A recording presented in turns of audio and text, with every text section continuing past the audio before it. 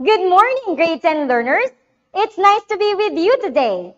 Welcome to another online learning engagement here at Valenzuela Live.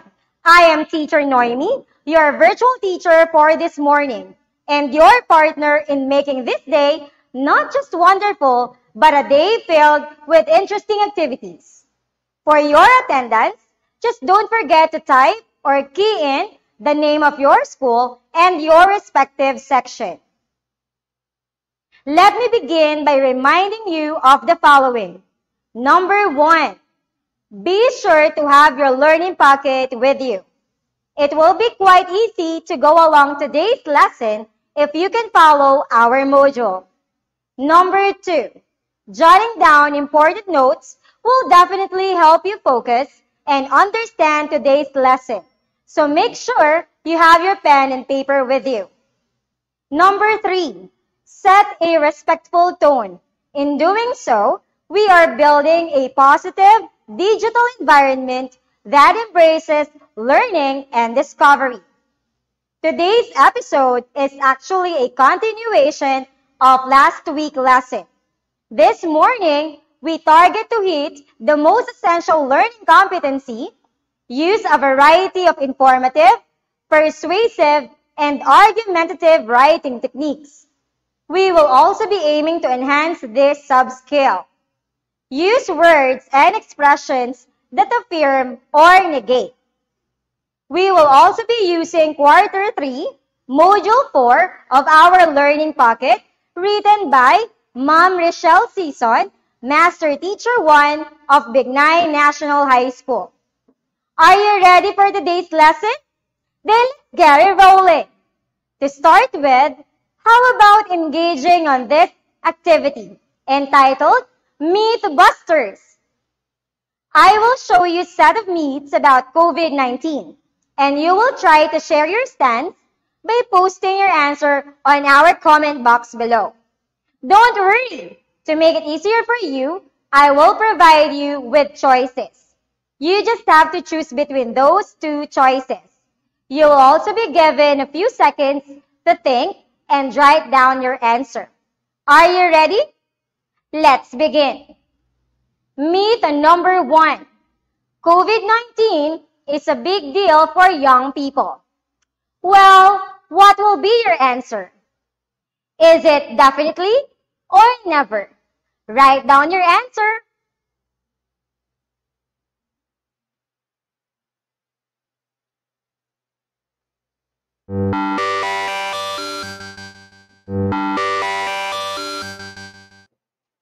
Myth number two. COVID-19 does spread in very hot or cold weather. Is it exactly for you or hardly? Think twice before you answer.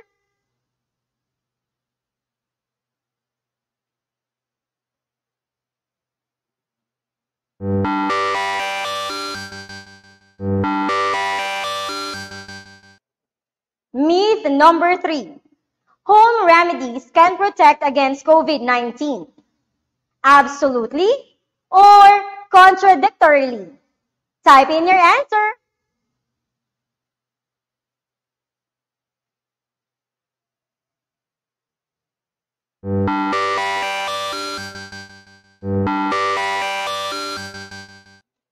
Let's proceed to the last myth. Myth number four. There is currently a cure for COVID-19. Is it obviously or scarcely?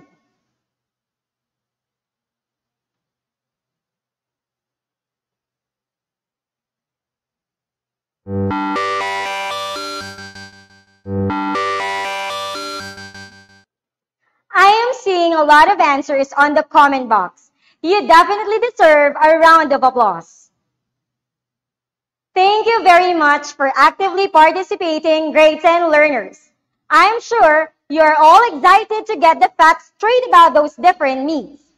I do not want to keep you waiting, so let's all watch and discover the truth behind those myths.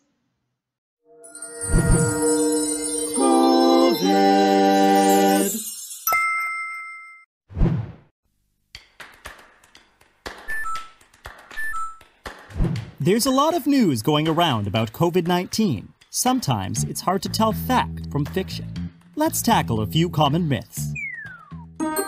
Myth 1 COVID 19 isn't a big deal for young people. Actually, people of all ages can be affected by COVID 19. Even wizards? Even wizards, Harry Potter.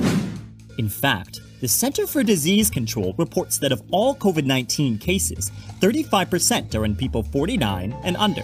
And one in five people hospitalized for severe COVID 19 were between the ages of 20 and 44. But perhaps the greater danger is that young people may spread the virus to those most vulnerable to COVID 19 people with other health problems and the elderly. So let's look out for each other by staying home and stopping the spread. Myth 2 COVID 19 doesn't spread in very hot or very cold weather. Based on current data, coronavirus can spread in all types of climates. Sorry, Dots. Myth 3 Home remedies protect against COVID 19. Despite what you may have seen on social media, teas, mouth rinses, essential oils, and other home remedies do not work against COVID 19, and cleaning products like bleach should never be swallowed or injected. Myth 4 There is currently a cure for COVID 19. In short, not yet. Some people have looked to antibiotics for treatment. While antibiotics work great for bacterial infections, they don't work for viruses, like coronavirus. Using antibiotics for viruses is a bit like cleaning your house with a pickle. It doesn't work.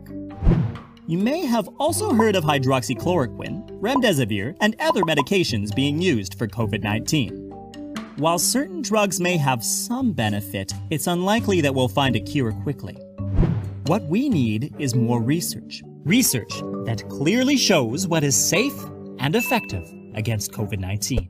Unfortunately, news stories have sparked big demand for hydroxychloroquine, taking this drug away from people who need it for other conditions. So, what can we do? We can arm ourselves with information from trusted sources like the World Health Organization, Center for Disease Control, and your local health authority. Together, we can spread accurate information and not infection.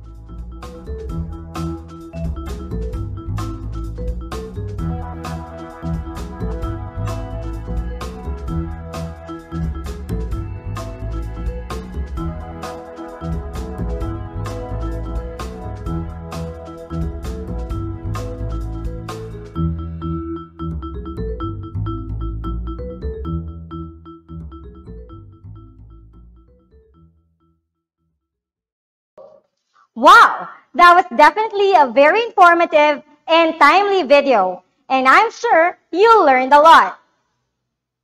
Now, going back to all your responses about those myths, what do you notice to the pool of choices I had given you?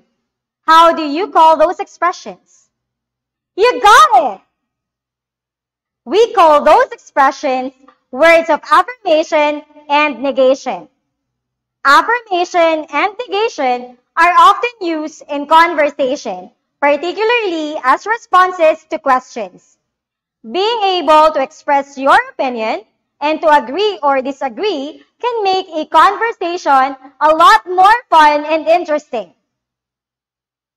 Are you familiar with the lines of this song? Anything you can do, I can do it better. Let's hear it once more.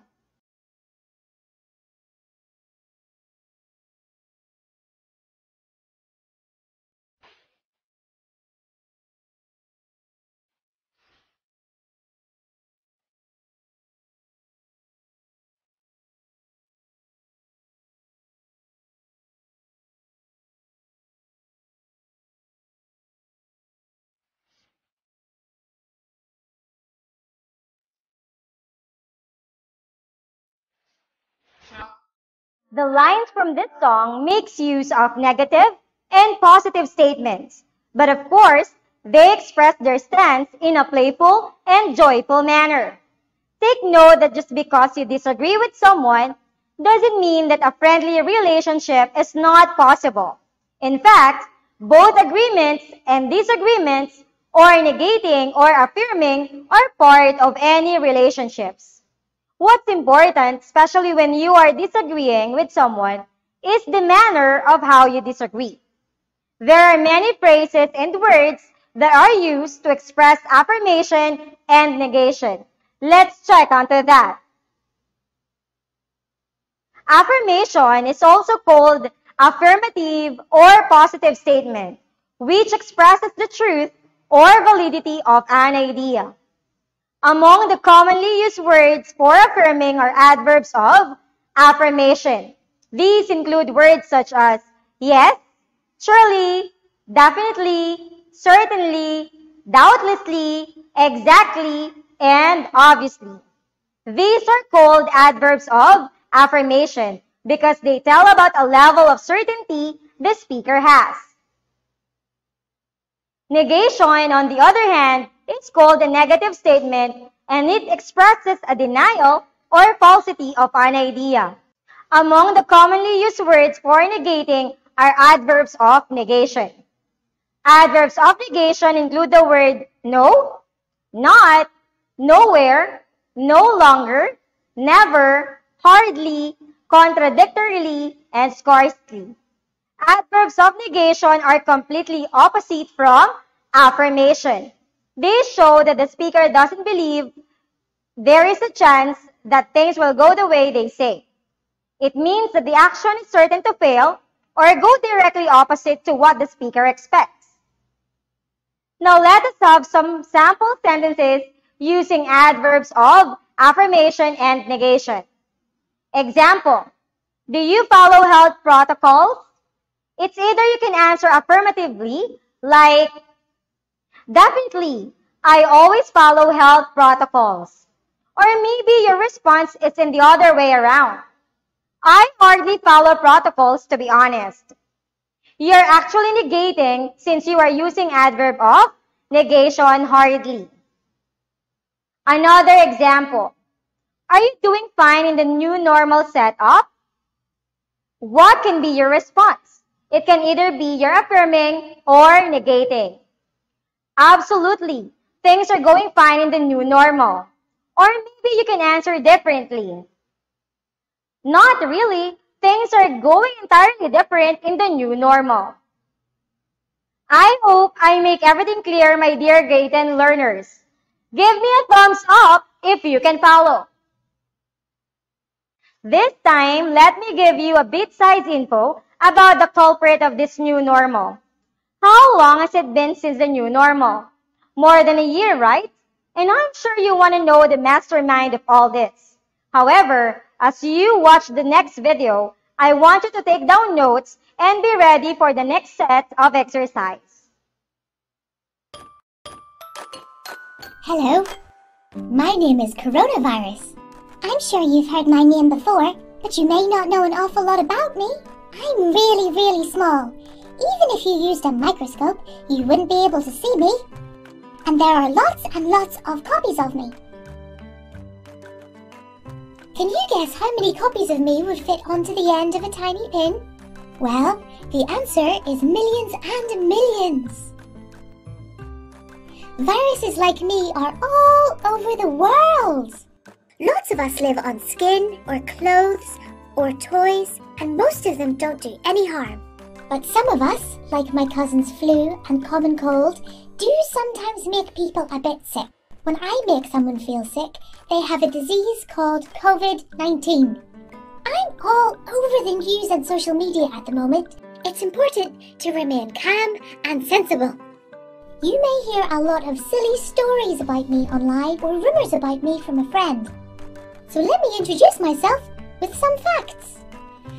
I love traveling I jump from person to person through coughs, sneezes, and touch. When I come to visit, I might make you feel hot and start coughing. None of these things are very nice and can make some people very sick.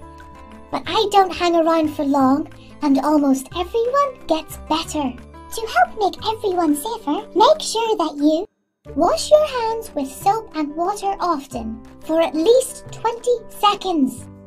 Cover your mouth and nose with a tissue or your sleeve when you sneeze or cough. Achoo!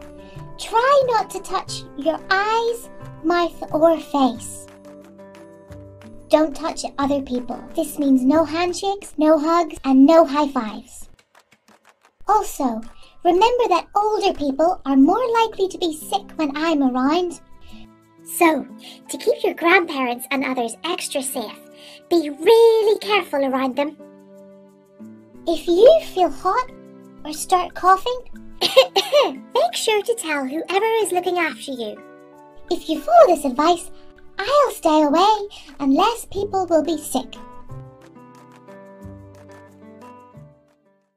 Now you know, coronavirus, although really small, is capable of defeating big giants. Small but terrible indeed. It is now time to check whether you can easily identify the word that leads to either affirmation or negation on the given video. Write down your answer in the comment box below. Take note that you will write the adverb use and identify if it's used as negation or affirmation. You will be given a minute to finish this.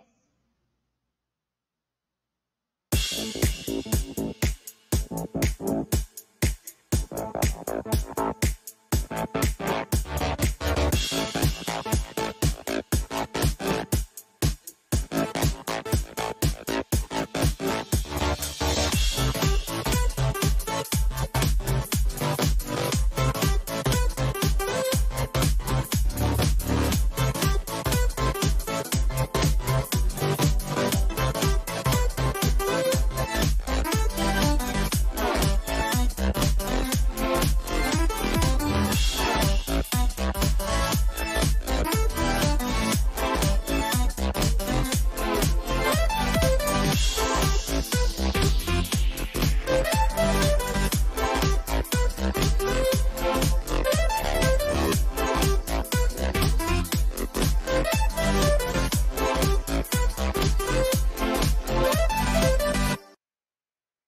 up!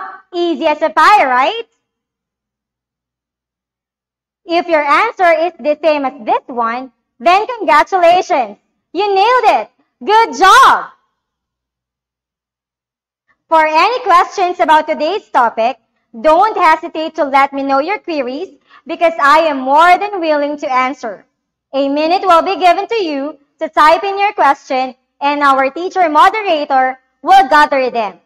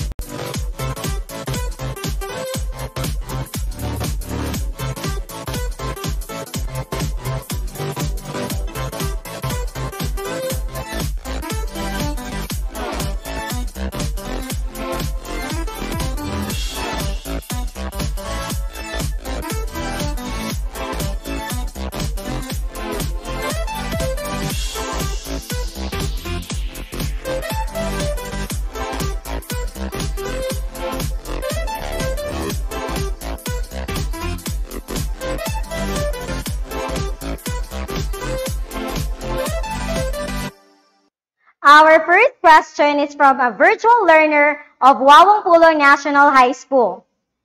Should I avoid using double negatives? A double negative is when two negative words or constructions are used within a single clause. Sentences with double negatives are not grammatically correct and they are confusing. They are said to be informal or slang in modern English. Like for example, I don't see nothing. I don't see anything. This usage is frowned upon by many people, even if used in speech, unless ironically.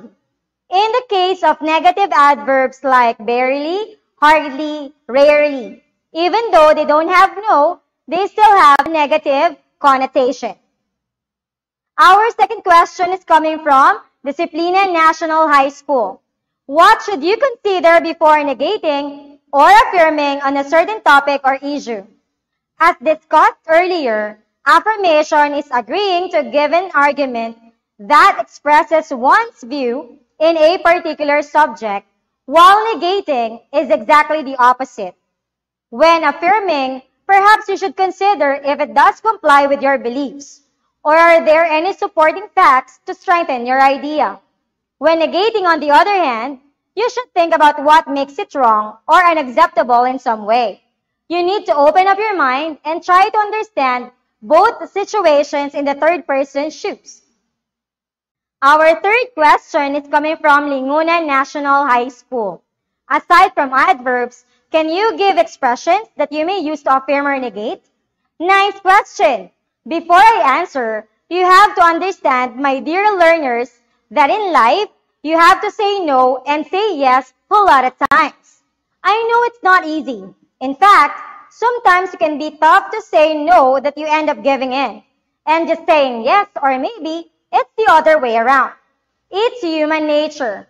We want to be agreeable. We want to be liked. And we want to be kind. So how do you say yes or no without feeling guilty? Aside from adverb of affirmation, you can also use these expressions. That's right. No doubt about it. Certainly. That is absolutely right. I have nothing against it. Yes, you're right. That is indeed great. Expressions that negate. I respect you for that, but, pardon me, but, I have nothing against your point, but, I know what you're trying to imply, but you have a great point. However, I'm sorry, but I understand that. However, thank you so much for actively participating in our question and answer. I'm sure that you will be able to complete the task in your learning pocket. For more information and other queries, your English language teacher would be more than happy to assist you. Before we end, I would like to thank our technical support teacher and teacher moderator for their contribution in making this learning engagement a success. It is a pleasure indeed to have you today in our virtual engagement. I hope you learned a lot and enjoyed our activity.